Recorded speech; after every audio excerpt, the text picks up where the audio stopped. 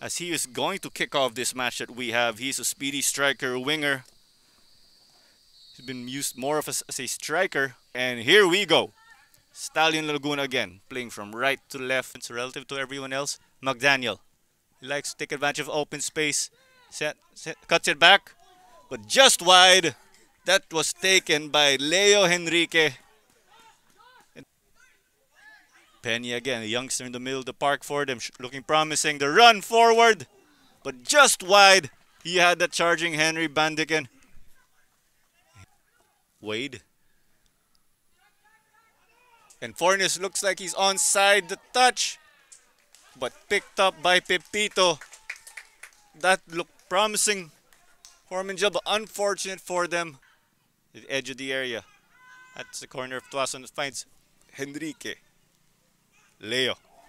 The touch, but oh, you had the running Gabe Silva, their center back. Looking to get numbers in his favor, but opts to dribble. Going up against Fornes. The cross. Headed. Bailey picks it up. 1 0 Stallion Laguna. It's the 47th minute. They finally get what they have been searching for this whole match.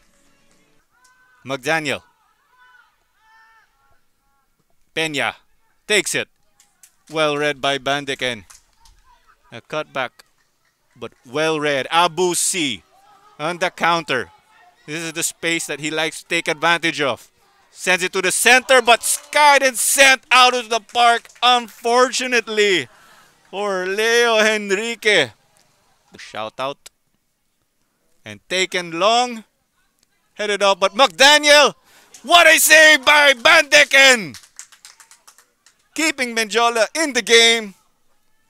So who will take home this opening day W? Sam.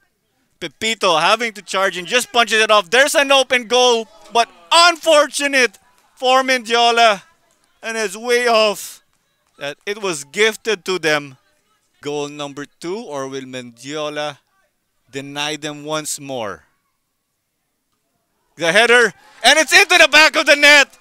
I believe it's Rafael Noguera scoring the substitute, doubling it for them, giving them the insurance goal. Absolute joy for them. Look at the chinks in the armor address them moving forward.